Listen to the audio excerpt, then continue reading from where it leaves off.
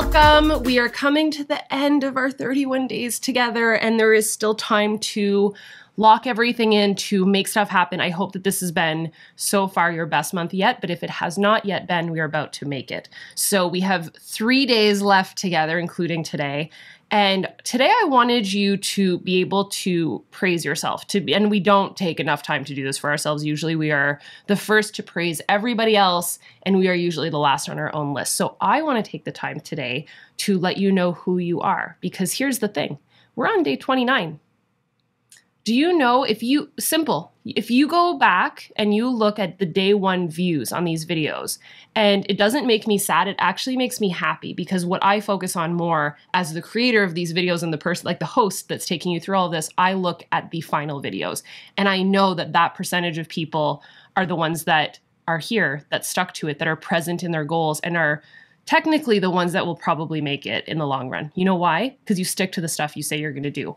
So I hope that you can realize this. You are the 0.01% of people that make it big because you stick to it. You started something on day one and you are still here. If you look at the views of today's video versus the views of the first video, it's probably about half.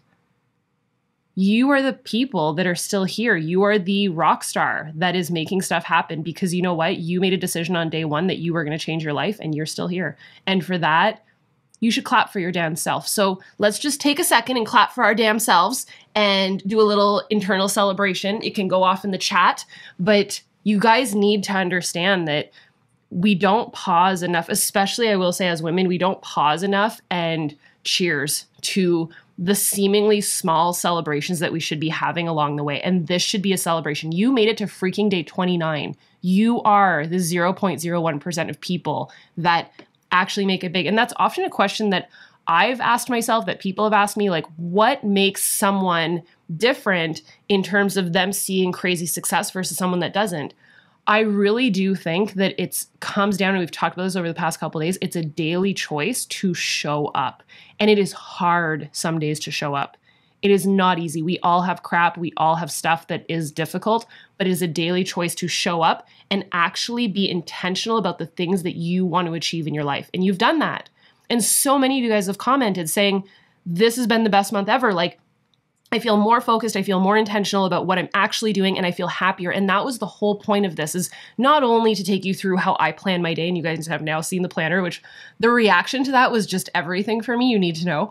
But going through that in such a, let's be honest, simple way, that planner is not some crazy, outlandish thing that you have to fill out everything and you're going to track every two seconds of your day. The whole idea is that it's simple in the sense that you're moving to, towards and to the stuff that actually makes you happy and fills your soul. And you're not filling your day with a bunch of random stuff that at the end of the day, week, month, or year, you go, I don't know what I did like I I can't tell you what I did with my time and what I worked towards. And that is a like I've been there and that's a crappy feeling. And hopefully over just the past 29 days we've shifted that, but I want you to know that you're honestly you're amazing and I hope that you can truly take that in. So I want to do two things.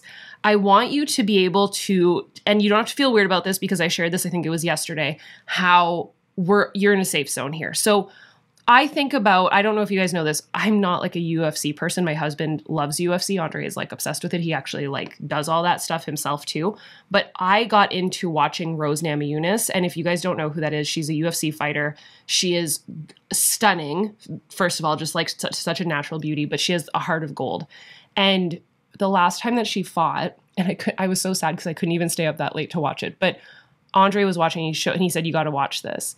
And she won and I don't want to butcher this, but Joe Rogan basically said, I could see you chanting something before you went out. And she said, Yeah, I was saying I'm the best. And he goes, Well, you are the best. And she goes, I am the best. And it's so emotional to watch that because it's almost weird to hear someone talk about themselves like that. And even I struggle with it, but I wanted to play this game with you guys today.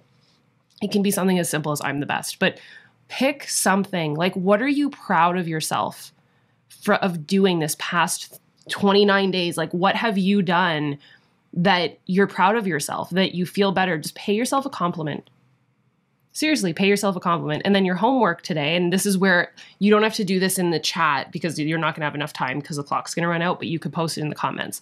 I want you to write a letter to your future self.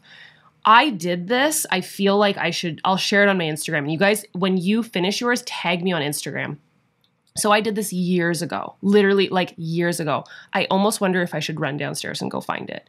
We're gonna i'm gonna run really really fast and try and find it. Carl's gonna be so upset. Okay brb i found it. Okay this is so old and the reason why it's it has a couple crinkles but the reason why it's still in perfect condition is i hide it around the house and as soon as i paused us and i went where am i gonna find this? I sometimes leave it in like a big coffee table book and that's where it was. So i wrote this letter if you're on the podcast, I'm sorry you can't see this. I wrote this letter on, I want you to be able to see this so you know that I'm not full of it. February 2016. That's a long time ago. All right. So this is a letter to myself, nothing crazy. You can see how big the font is. It doesn't have to be that long, but I will read it to you and hopefully it can blow your mind because I had just started my business pretty much. We were we were achieving things in the business, but I'll blow your mind. All right. So, my goal is to inspire, motivate, and help others to change their fate, to help people achieve greatness that know that they are destined for more than the life that they are currently living.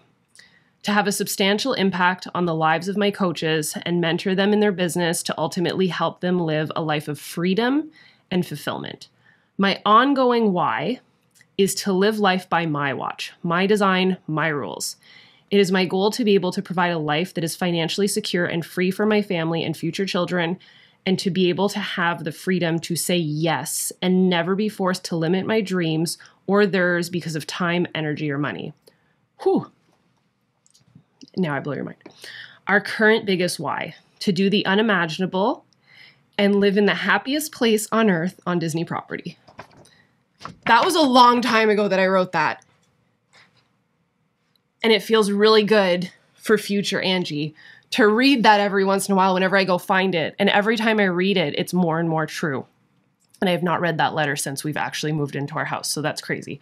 So, how cool would it be for you to write a letter to your future self? So, either type it out in the comments below, type it out. I just did that on like PicMonkey and printed it, and tag me. And I want to see it. And I hope nothing more for you than to be able to read that letter to yourself a year from now and you're like floored at the stuff and the progress that you've been able to accomplish and how far you've been able to move forward. And I hope that it can be the most rewarding and emotional experience for you to do that because you are the 1%. You committed, you're a freaking rock star, man. And you are moving forward. Whether it feels like that right now or not, you are. So, we just have a couple days left together. So, with that said, hopefully today was not too emotional for you guys. it was for me. Alrighty, I will see you guys tomorrow. I don't ever want this to end, but we we got we got to end it at some point. So we have a couple days left to make magic happen. So let's do this, and we'll see you guys then. Bye, dudes.